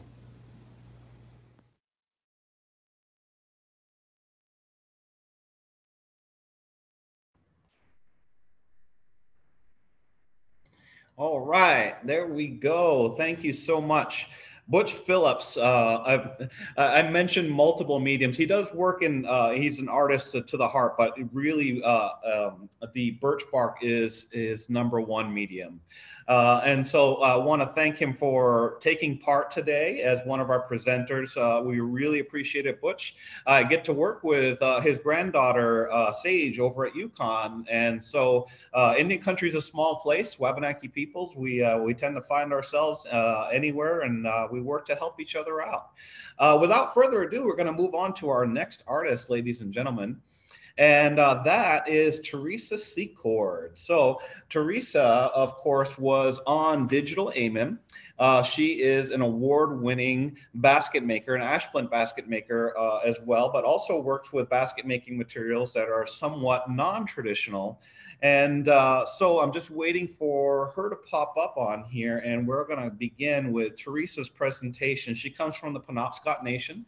I see her there. She is uh, former head of uh, the, Ma uh, the Maine Indian Basket Makers Alliance. And uh, uh, Theresa, I am not going to hold up things any longer. I'm going to turn it right directly over to you for your presentation. let us all know about you and your work. Oh, Willie, Willie Chris, and um, Kachi Willie Win to the Maine Indian Basket Makers Alliance also for um, hosting this today. It's so great that, um, and the visitors as well. It's so great that, you know, everyone's showing up for each other in these pandemic times. I'm going to go right into my screen sharing, which is where I have the um, PowerPoint. Let's see, I can do this. How, how about that? Is that, is that looking good, Abbe Museum? Uh, hoping. Um, let's see. I guess I guess I'm looking for a thumbs up to see if people can uh, see that, Chris or Star. If you can text me, I still see myself on the little screen. All right, so um, I don't know. It looks it looks like I'm sharing the right screen. So this is a photo of my great great grandfather's business card, and I put this in here to share a little bit of family history in our basketry tradition, and also um, to remind myself to mention too that our basket makers and Wabanaki people have been selling baskets in Bar Harbor for nearly 200 years, and that's one of the reasons why. Um, you know, we, we set out to kind of recreate that with the Native American Festival. And a lot of talked about, you know, so much value in that that goes beyond the retail sales. But I did want to show this business card in my family. Uh, this is a 1920 uh, replica glove box that I wove in honor of my great grandmother, Philomene Saulis Nelson. And um, you'll notice um, when I show a couple more of my pieces that my baskets very much reflect her style and um, I watched her making baskets um, when we would visit Indian Island when we were growing up, but I didn't learn from her. I actually learned from the late great basket maker Madeline Thomas Shay when I was actually living and working on the island as a geologist um, 32 years ago. So um, I just wanted to point out the striping too in the alternating braided sweetgrass and ash. And this, this box is for sale um, now. And you can, you know, message me as, as Chris mentioned earlier. Um, so this is a photo of my great grandmother. I show it a lot, use it a lot, but it also, again, like I said, shows kind of where my style comes from because I'm fortunate enough to have inherited all of the wooden forms and molds and tools, you know, from her basketry practice. So she's holding a sewing basket. Um, there's barrel baskets in the photo that I weave, and actually an overexposed um, glove box, kind of tipped up. It has the same um, uh, design pattern as mine. And so this is um, the well-worn, almost rounded corner now wooden form that she wove her glove boxes on that I use and her initials are actually on that gauge. These are some of the um, wooden forms and uh, blocks that I use.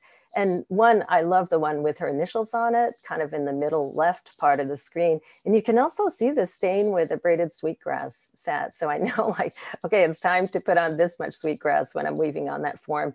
Um, and again, some of these have passed down to her and now to me in the 1800s. Um, there's a sewing basket form in the center bottom and a um, barrel basket on the right bottom again, and you could see that would be the same shape and size because I wove it on the same form. Um, these are some of her gauges that I actually don't use anymore. And I think they came from her father because his initials were on them, um, that he carved at least one of these.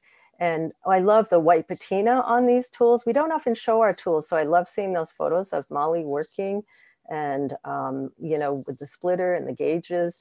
So these gauges have clock spring or watch spring, which are sharpened, you know, so these individual teeth. So you can see the gauge on the right, we're kind of almost sewing with that wood that we're cutting at that point. And what's cool about the uh, patina too is I can feel where my great grandmother's thumb was on these um, gauges. They're kind of soft, they're lightweight. And so the, a lot of the wooden forms and tools are lightweight, you know, in our hands and um, feel really good in our hands. So there's cedar or maybe even um, spruce, but uh, balsam also. But again, um, there's an indent where her thumb was on that one. So this is a recent sewing basket that I made um, actually last year in 2019. And you can see the wooden form is still in there on the top piece. And as Chris mentioned, me, but also uh, other Wabanaki people are now integrating other materials to help conserve the ash trees because of their rarity and, and preciousness these, of these sacred trees. And this has, um, the introduced material here is cedar bark in addition to the ash and the braided sweetgrass. Um, it's also a tribute to my great grandmother. You can see her holding a sewing basket. And um, I backed that photograph of her with blue velvet, which would have been like the little notions that I, I would have used that in the little notions that I would have woven, like uh, velvet pin cushions and needle cases. But in this case, you know, the um, collectors, you know, aren't buying, you know, sewing baskets for actual sewing anymore. So, uh, and uh, these are uh, bean jar baskets that I've really started to just make again this spring. Um, kind of, you know, shifting things in the pandemic, and I haven't done any of these for about 20 years. And so I, I pulled out this really special glass jar that my Uncle Wadey, late Uncle Wadey, who was very good friends um, with Molly, and um, actually um, wove on this piece that he gave me. So he, my uncle actually saved these jars for my great grandmother, as did we when we were growing up. I think all of our family members did. That was our job to supply her with these baked bean jar baskets, uh, uh, basket molds. And uh, so it's really special that I got to weave on that. And so uh, mentioning shifting kind of priorities in the pandemic, I'm, I'm back to teaching my son Caleb again. And he indeed was a toddler when we actually held the first festival at the College of the Atlantic in 1994. And he's gone on to become a pretty good youth basket maker. And um, but hasn't made a lot of baskets in the last few years that he would be um, sharing my booth this year on the grounds of uh, the Abbe Museum if the event were happening. And so I'm really proud that we get to work together. He's using some of these ancient tools, but he's really needing to learn the process um, from start to finish, which is, which is really arduous and time consuming. And so um, he's been coming to my house and you can see kind of the striping pattern on his blue piece below that, that mirrors my glove box. So, you know, kind of that family family and tribal pattern, if you will, because a, a, lot of people use that in their basketry. And then the piece on the left is a piece he sold in Bar Harbor about three or four years ago. Um, this is him. We had, you know, did some sweetgrass braids and um, the final piece, which sold actually to um, some friends who I can't name because it's a surprise for someone else. Um, and then um, this piece, we these pieces we wove together a couple of weeks ago, just um, over a series of sessions. And he still needs to make a cover for his little um, drum basket on the right hand side. But I didn't realize how much we were working off each other's energy and design and style. And so um, this is, uh, of course, a bean jar basket. And we kind of thought we were going to be able to do some of this by FaceTime and we've been interrupted multiple times thinking oh you know was he around people? Because he's you know he was working still at the time before and um, you know does he does he need to you know quarantine for a while before he comes back? And so we thought we'd be able to do some of this electronically but we found out you really can't transfer this kind of intergenerational knowledge electronically um, we sat back and forth beside each other and he passed the basket back and forth to me in the same way that my teacher and I did 32 years ago.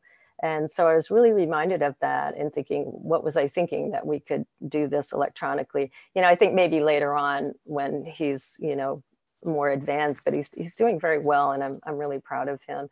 This was a barrel basket that I wove last year for the Weewanigan exhibition at Colby College Museum of Art and now uh, resides in the permanent collection there.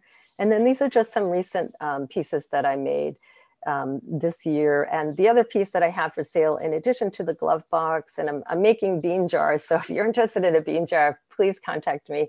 But the other piece I have for sale right now is this Indigenous Heirloom Corn series. And so this tray with the three pieces are available. And I started weaving these as a, a real nod to the um, organic farmers in Maine who are bringing back like the, especially the ancient New England flint corns, like the Calais flint corn, the Abenaki rose corn. And then on this piece, you see I have a Hopi blue corn thrown in there. So um, this is my contact information. And um, it's kind of an awkward looking website right at the moment, but I was showing it to just remind myself to let you know that I still have the website that's in the Abbe database, but I'm actually working on a new one that will launch with all the other Santa Fe Indian Market artist sites in a couple of weeks. And so, um, you know, I'll be able to actually see what I have available and purchase right off the site, which is, you know, the way we all need to go. So that's been interesting with that going virtual. And there are a lot of you know, advantages of people trying to make the best of this time. So um, thank you very much. And I appreciate the opportunity and answer any questions anybody might have. All right. Thank you, Theresa, so much. Um, I do have one question for you. We are kind of uh, moving along, getting close to the end, and we do have one sure, more sure. artist, but uh, I wanted you to uh, see if you could expand on that a little bit more. I mean, you're an award winning artist. You've shown your work at many prominent markets.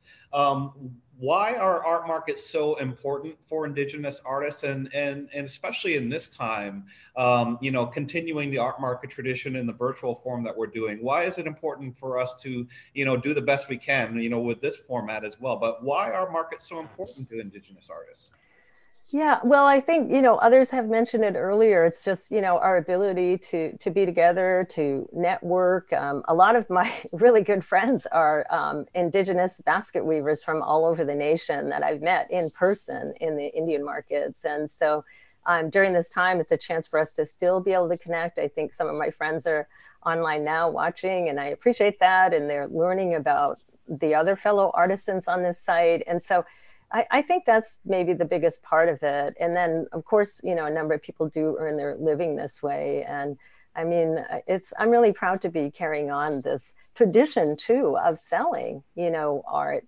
for a couple of hundred years in our tribes in Maine. And that's that's really quite unusual if you um, think about it. You know, I, I, believe this is Maine's oldest continually pra- continuously practiced art form. You know, along with birch bark canoe building, et cetera. But these woven um, which I always think that, that birch bark canoe reminds me of a big basket anyway. But um, now I think it's it's just yeah, you know, we need to stay connected. Yeah, and I, I, think in your presentation, you really drew some great lines. Uh, the fact that uh, even though Bar Harbor, you know, formerly Eden, right, in the time mm-hmm. of Rusticators, uh, even during that time, there was always a continuity of uh, maintenance of native presence here uh, in what is now Bar Harbor, and that has continued, you know, for hundreds of years, and is now uh, taken the form of the Native American Festival and basket makers, and, and as well as now the uh, Abbe Museum Indian Market is now adding to that as well.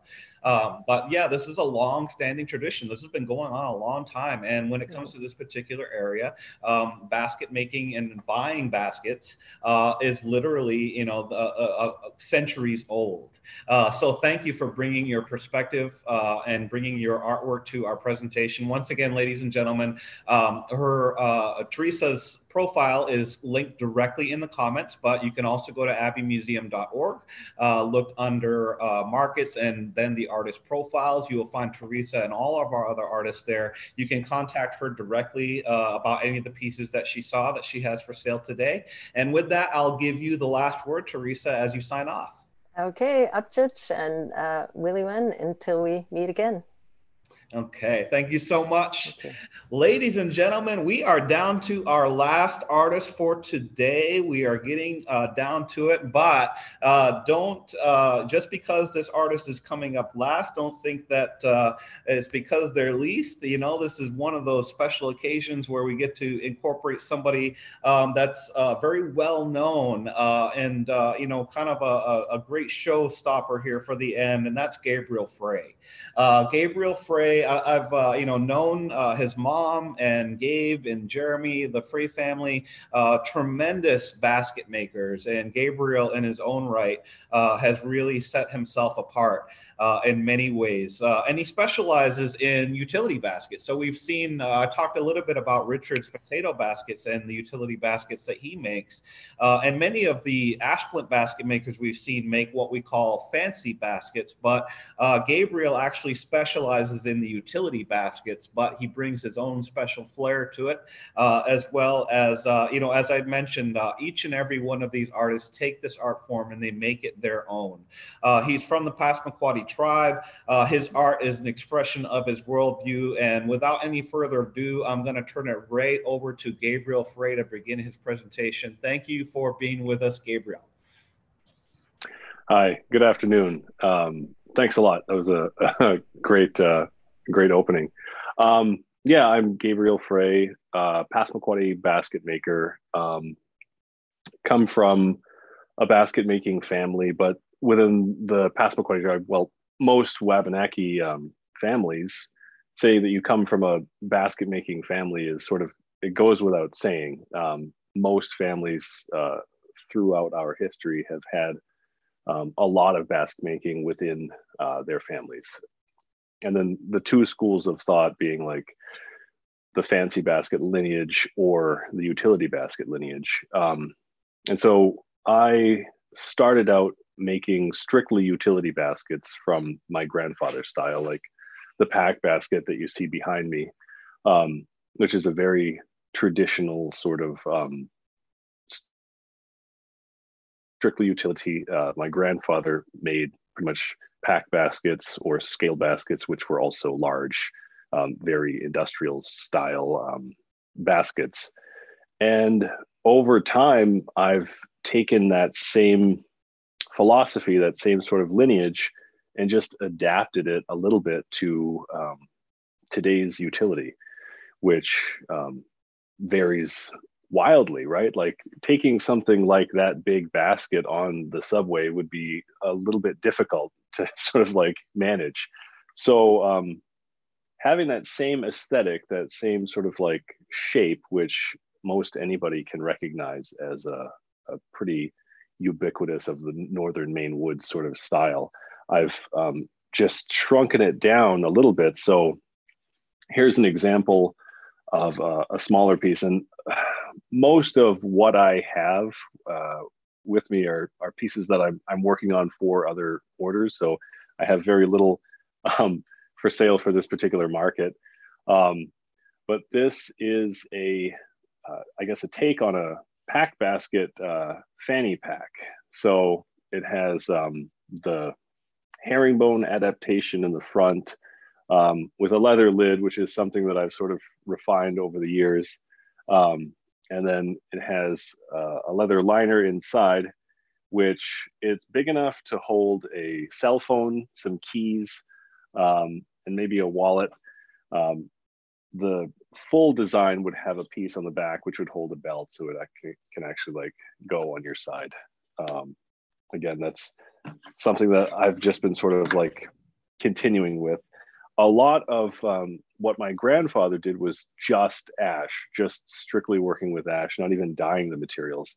Uh, over time i've started working with um, natural dyes so again, incorporating different weaves that you would see in some of um, our fancy baskets, but then adapting them to smaller utility baskets. So this is another one that I'm working on. Um, it's indigo and madder root. And so that's again just a, a variation of a herringbone weave to create the pattern up the front. And it has that sort of um, saturation, reduced saturation in the, the indigo dye. Um, but it gives a great contrasting color. And so this is, again, this is a, a back order I've been working on for a while. Um, and then another one, which is a series of multiple dyes, but uh, I call this one the um, sunrise basket. So it has that uh, variation from earth into sun, uh, sort of the uh, homage to uh, the Dawnland. Um, and this one is completely in process. So what you see with this other one, when it has the liner already cut out, the liner is actually flapped over and then I'll trim that off when I add the binding. So this is a, a deer hide um, lining that I put in the basket. But again, it has that pack basket shape, which is common to you know the larger pieces. Um, but again, it's refined for today's use. So there's a, a little pocket for your change or you know anything else. Um, and uh, yeah, uh, the similar thing to what Theresa was saying, I use a lot of um, our old tools that have been passed down. Um, I, I work with uh, my grandfather's molds or even other antique molds that I find um, that really help carry on the sort of like traditional style that that comes with our baskets.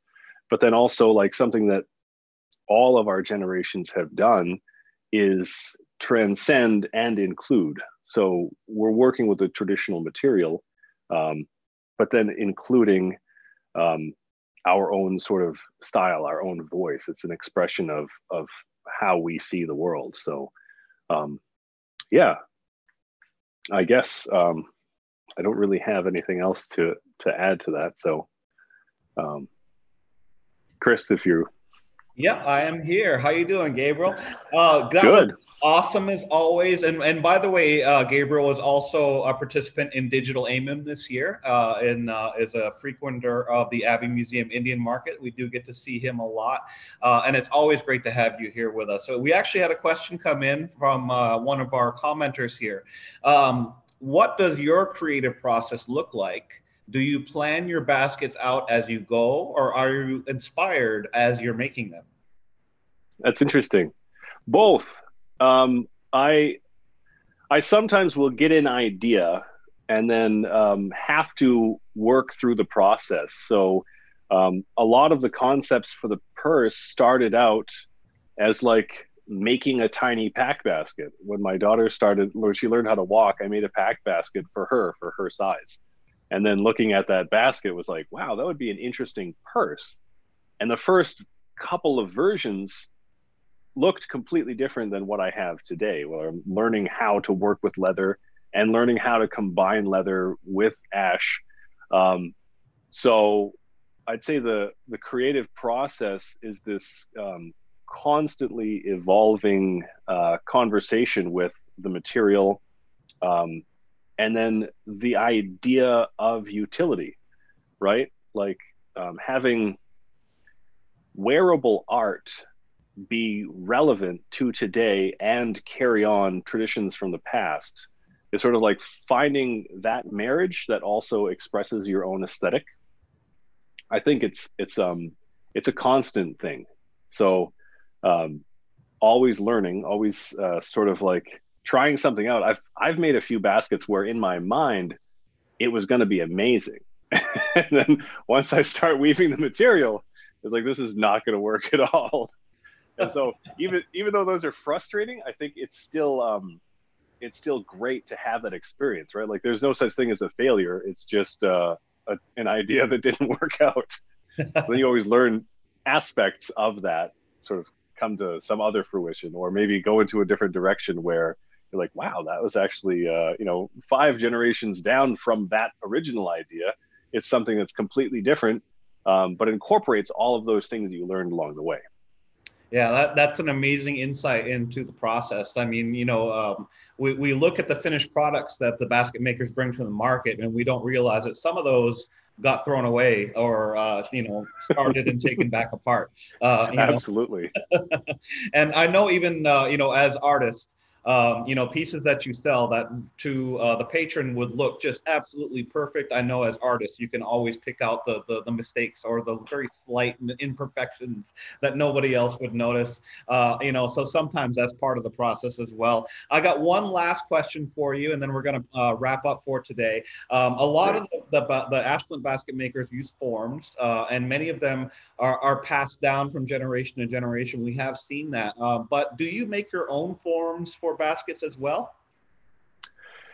Yeah, yeah. I um so when I was learning how to make baskets from my grandfather, uh, he actually wouldn't let me use a mold for for the first several baskets that I made because learning um, how really to to work with the material.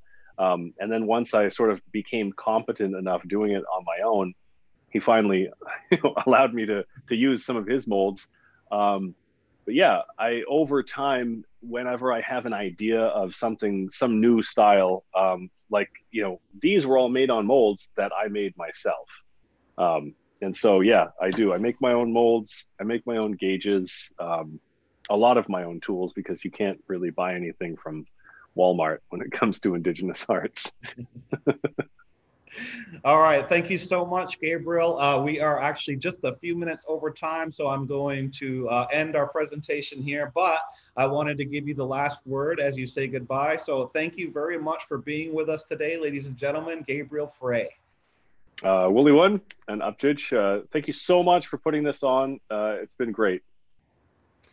All right. So, oh, folks, we have made it to the end of our digital Native American Festival and Basket Makers Market for today. I just want to give one more huge thank you for joining us. Uh, once again, if you have seen pieces from our uh, artists that were featured today and you would like to contact them, uh, the links are in the comments. You can go directly to their profiles or you can go to abbemuseum.org, look under the tab for markets, and then look under the tab for uh, the artist profiles, digital AMIM and digital NAF. Uh, and some of the other artists that we could not highlight, I'm going to name them all, the Native American artists that we uh, have participating in uh, the artist profiles are some of the ones we heard from today, like Barry Dana, but also other ones, Natalie Dana Lolar uh, with Diverse Arts, uh, Decontie and Brown, also a digital AMIM participant, clothing and some really, really fashionable jewelry that they got going on. Uh, James Francis, we heard from today, as well as Gabriel Frey. Ganessa Frey, another Ash Splint basket maker. Jeremy Frey, a very well-known Ash Splint basket maker. Uh, Hawk Henries from the Nipmuc Nation, diverse arts, uh, musician as well. We heard from Elizabeth James Perry. Um, Molly's uh, grandchild, Geo Soctomah Neptune, uh, another uh, very well-known Ash Splint basketry maker. Jennifer, we saw today. Pamela Outdusis Cunningham basketry, Ash basketry, as well as other. Butch Phillips, we got to hear from Jennifer Pictou with her beadwork, uh, Ann Pollard Ranco, uh, diverse arts, painting and illustration. Theresa, we heard from today. Richard, we talked about a little bit, Richard Silliboy, uh, as well as hearing from Frances Soctomah. So those are the uh, NAF participating artists that we have profiles for. Uh, please come to abbemuseum.org and uh, contact the artists themselves, uh, and you can buy directly from them or commission pieces. And ladies and gentlemen, that brings us to the end of our event. Uh, as uh, uh, the executive director for the Abbe Museum, Willie one to you all for being here today, for joining us, for taking part. Uh, and we look forward uh, to future events with you, uh, whether it's in the virtual realm or hopefully sometime in the future uh, in face to face meetings with one another. And uh, uh, we will keep you updated on when we open the Abbe Museum, which will hopefully be sooner rather than later. We just want to make it a safe experience. With that, ladies and gentlemen, Willie One, up judge. I will see you again.